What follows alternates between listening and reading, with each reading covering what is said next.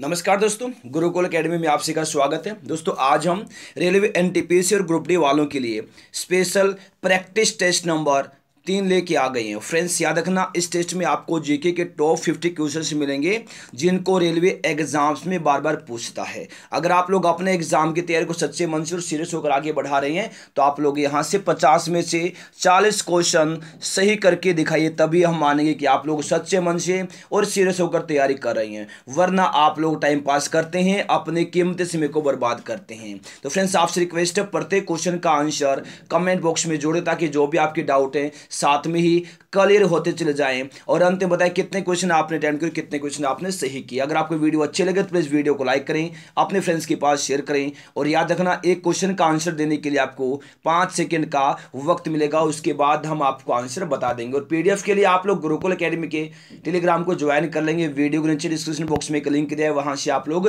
Telegram को join करेंगे। तो चलेगा क्वेश्चन स्टार्ट करते हैं।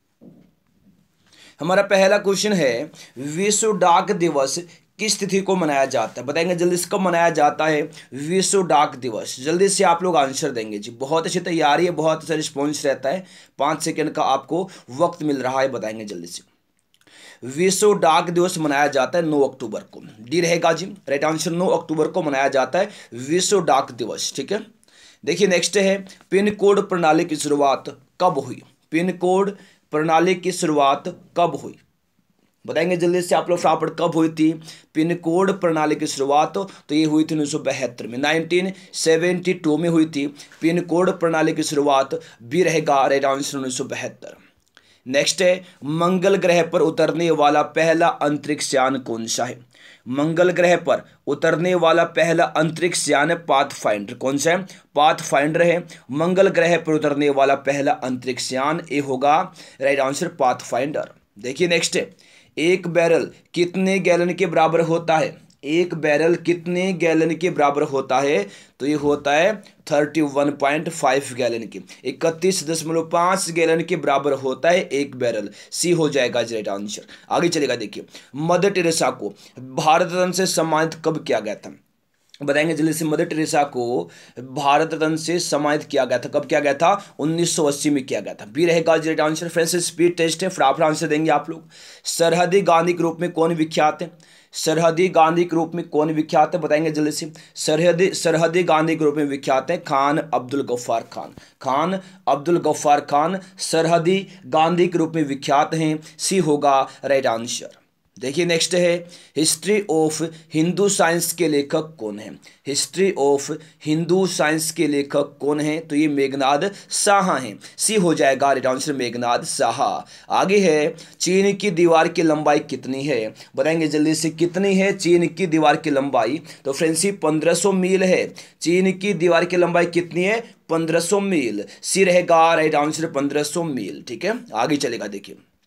स्पेन की संसद को किस नाम से जानते हैं? बहुत बार करवाते हैं। करंट अफेयर्स में क्वेश्चन आता, तभी हम लगभग देशों की जो संसद है, पीएम है, राष्ट्रपति सभी के नाम हम बताते हैं। तो इस क्वेश्चन में फ्रेंड्स कोई मिस्टेक ना हो।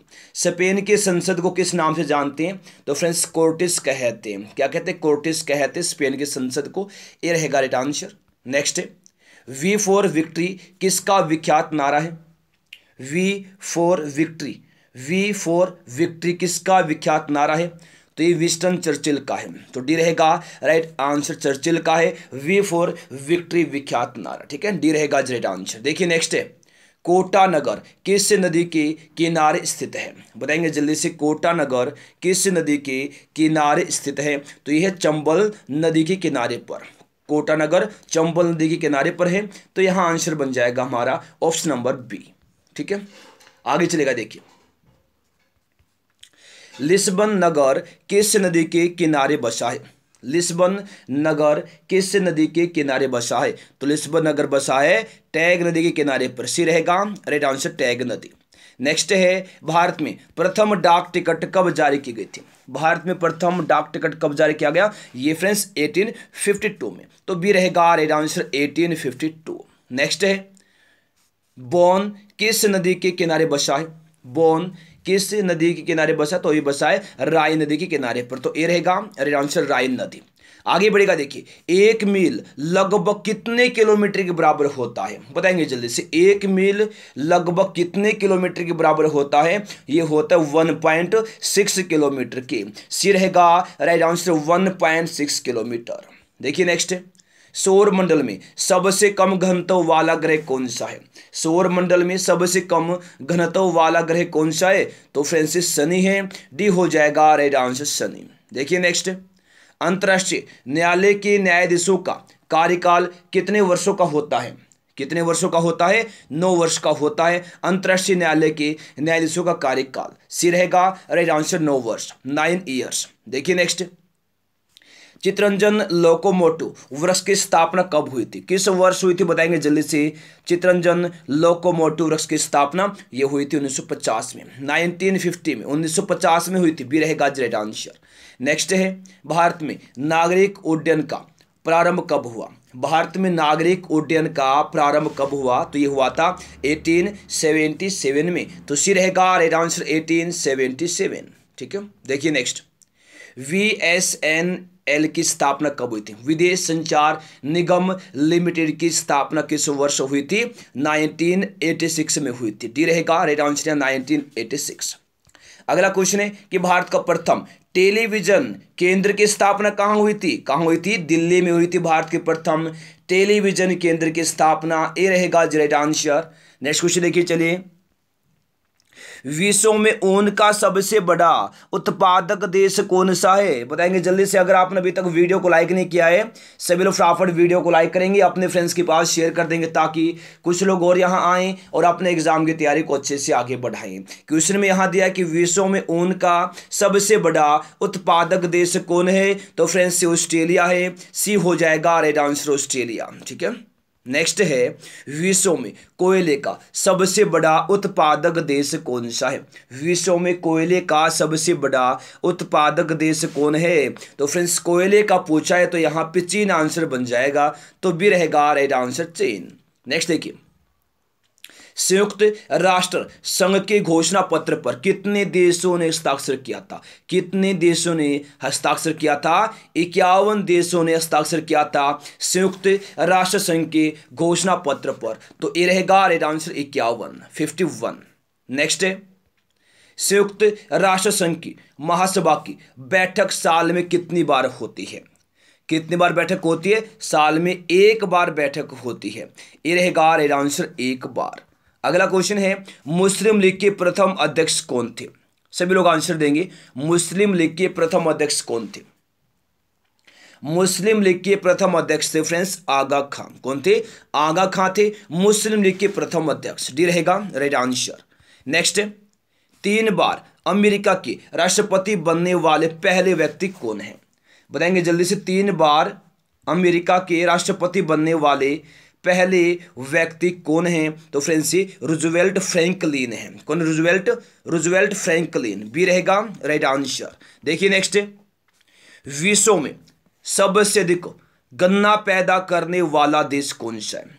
सबसे अधिक गन्ना पैदा करने वाला देश कौन सा बताएँगे जल्दी से आप लोग। सबसे अधिक गन्ना पैदा करने वाला देश है ब्राज़ील। ये रहेगा राइट आंसर ब्राज़ील याद रखना। अच्छे से फ्रेंड्स आप लोग याद रखना विश्व में, पूरे विश्व में सबसे अधिक गन्ना पैदा करने वाला देश है ब्राज़ील। ये रहेगा बिल्कुल राइट आंसर ब्राज़ील में होता सबसे ज़्यादा गन्ना, ठीक है? याद रखना आप लोग, भारत, अपना भारत दूसरे स्थान पर है। अपना भारत दूसरे स्थान पर है। पहले पे ब्राज़ील है, दूसरे पे अपना भारत है, ठीक है? आगे चलेगा। जनसंख्या वृद्धि की दृष्टि से किस वर्ष को महान विभाजक वर्ष कहा जाता है? किस वर्ष को कहा जाता है? तो ये कहा जाता है 1921 को। 1921 को जनसंख्या वृद्धि की दृष्टि से महान विभाजक वर्ष कहते हैं? ये रहेगा ग्रेट आंसर। आगे देखिएगा, स्वतंत्रता के बाद पहले जनगणना में भारत की कुल जनसंख्या कितनी थी? कितनी थी? 36.1 crore. Thirty six point one crore. C रहेगा? राइट आंसर देखिए नेक्स्ट इलायची भारत के किस राज्य में सबसे अधिक होती है? इलायची भारत के किस राज्य में सबसे अधिक होती है? तो ये होती केरल में। केरल में इलायची सबसे ज़्यादा होती है। सी रहेगा ग्रेट आंसर केरल। ठीक है? अगला क्वेश्चन है, नाम दफ़ा वन्य जीव अभ्यारण्य भारत के किस राज्य में स्थित है? सभी लोग आंसर देंगे, जल्दी से मोस्ट क्वेश्चन है। बहुत बार एग्ज़ाम में आता है। नाम दफ़ा वन्य जीव अभ्यारण्य भारत के किस राज्य में स्थित है? तो यह अरुणाचल प्रदेश में। ये रहेगा राइट आंसर अरुणाचल प्रदेश। देखिए नेक्स्ट भारत का मैकिया वेले किसको कहा जाता है? जल्दी से आंसर देंगे जी आप लोग। भारत का मैकिया वेली किसको कहा जाता है? चाणक्य को कहते हैं भारत का मैकिया वेली भी रहेगा राइट आंसर चाणक्य। ठीक है? देखिए नेक्स्ट मुखबरात मुखबरात किस देश की गुप्तचर संस्था है? मुखबरात किस देश की गुप्तचर संस्था है, बताएँगे जल्दी से। किस देश की है? तो ये मिस्र की। कहा कि? मिस्र की है? ए रहेगा आंसर मिस्र, याद रखना। मुखबरात मिस्र की गुप्तचर संस्था है ए हो जाएगा राइट आंसर। देखिए नेक्स्ट है, ईरान देश का पुराना नाम क्या है? ईरान देश का पुराना नाम क्या है, बताएँगे जल्दी से आप लोग। बहुत इसी तैयारी है, ईरान देश का पुराना नाम क्या है? ये फ्रेंड्स पर्सिया है। डी हो जाएगा रेड आंसर पर्सिया। ईरान देश का पुराना नाम पर्सिया है। डी रहेगा रेड आंसर नेक्स्ट है, विश्व मधुमेह दिवस किस तिथि को मनाया जाता है? बताएँगे जल्दी से, विश्व मधुमेह दिवस किस तिथि को मनाया जाता है? तो फ्रेंड्स ये मनाया जाता है चौदह नवंबर को। विश्व मधुमेह दिवस मनाया जाता है चौदह नवंबर को। भी रहेगा राइट आंसर चौदह नवंबर। देखिए नेक्स्ट क्रिकेट का मूल नाम क्या है? क्रिकेट का मूल नाम क्या है? बताएँगे जल्दी क्या है? क्रिकेट का मूल नाम है क्लब बॉल। ये रहेगा राइट आंसर क्लब बॉल है। क्रिकेट का मूल नाम ये रहेगा राइट आंसर नेक्स्ट है, दलहनों का राजा किसे कहा जाता है? बताएँगे जल्दी से आप लोग दलहनों का राजा किसको कहा जाता है? तो फ्रेंड्स चना को कहते हैं। दलहनों का राजा कहा जाता है चना को सी होगा राइट आंसर देखिए नेक्स्ट सुनहरी क्रांति का संबंध किससे है? सुनहरी सुनहरी क्रांति का संबंध किससे है? तो फ्रेंड्स ये फल उत्पादन से है, सुनहरी क्रांति का संबंध किससे है? फल उत्पादन से है, सुनहरी क्रांति का संबंध डी हो जाएगा राइट आंसर फल उत्पादन। देखिए नेक्स्ट है ऑक्सीन हार्मोन की खोज 1880 में किसने की थी? ऑक्सीजन हार्मोन की खोज 1880 में किसने की थी? ये की थी चार्ल्स डार्विन ने। सी रहेगा, राइट आंसर, चार्ल्स डार्विन, ठीक है? देखिए नेक्स्ट धुआंधार जलप्रपात किस नदी पर स्थित है? बताएँगे जल्दी से। मोस्ट वाई क्वेश्चन है बहुत बड़े एग्ज़ाम में आता है। जल्दी से आप, जल्दी से आप लोग आंसर देंगे फ्रेंड्स फटाफट से। Very good very good very good. देखिए, क्वेश्चन में फ्रेंड्स यहाँ दिया हुआ है कि धुआंधार धुआंधार जलप्रपात किस नदी पर है? तो ये नर्मदा पर। ये रहेगा राइट आंसर नर्मदा पर। फ्रेंड्स, ये एमपी में है, ये भी याद रखना है मध्य प्रदेश में। ठीक है? आगे चलेगा, देखिए नेक्स्ट। करक और मकर रेखा किस महाद्वीप से होकर गुजरती हैं? करक और मकर रेखा किस महाद्वीप से होकर गुजरती है? तो फ्रेंड से गुजरती अफ्रीका महाद्वीप से होकर। डी हो जाएगा रेड आंसर अफ्रीका, ठीक है? नेक्स्ट लॉर्ड होर्डिंग पर बम फेंकने वाला क्रांतिकारी कौन था? लॉर्ड हार्डिंग पर बम फेंकने वाला क्रांतिकारी कौन था? रास बिहारी बोस, रास बिहारी बोस। भी रहेगा राइट आंसर नेक्स्ट है भारत में पहली बार राष्ट्रीय आपात किस वर्ष घोषित किया गया था? भारत में पहली बार राष्ट्रीय आपात किस वर्ष घोषित किया गया था? तो फ्रेंड्स, ये किया गया था उन्नीस सौ बासठ में। 1962 में किया गया था भारत में पहली बार राष्ट्रीय आपात घोषित। तो फ्रेंड्स, ये रहेगा राइट आंसर। उसके बाद 1972 में, फिर 1975 में, अब तक तीन बार राष्ट्रीय आपात घोषित हो चुका है भारत में। उन्नीस सौ बासठ और बहत्तर में आंतरिक बाह्य आक्रमण के कारण, ठीक है? और उन्नीस सौ पचहत्तर में आंतरिक अशांति के कारण लागू हुआ था राष्ट्रीय आपात चलेगा फिर नेक्स्ट क्वेश्चन देखिए। भारत का सबसे बड़ा नौसेना हवाई अड्डा सी बर्ड किस राज्य में स्थित है?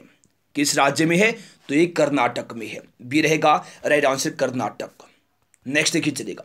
कच्छ के रण में गिरने वाली एकमात्र नदी कौन सी है? कच्छ के रण में गिरने वाली एकमात्र नदी कौन सी है? तो ये लोनी है।